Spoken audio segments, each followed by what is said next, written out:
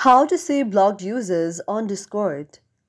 If any day any of you are a Discord user and you would like to see your blocked users on your very Discord application but you do not know how to do that, just follow the following steps.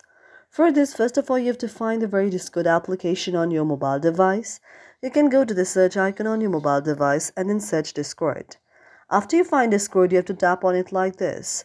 After you tap on Discord like this, Discord will be launched on your very mobile device. After Discord is launched on your mobile device, you have to go to your profile like icon and then go to the option of settings that is the gear like icon on the top. After you tap on it, you can see an interface like this.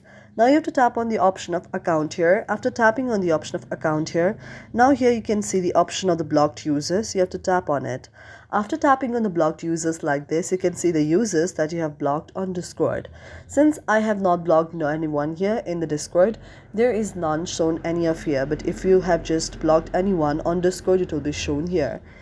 Thank you for watching our video and if you really like it, do not forget to subscribe our channel.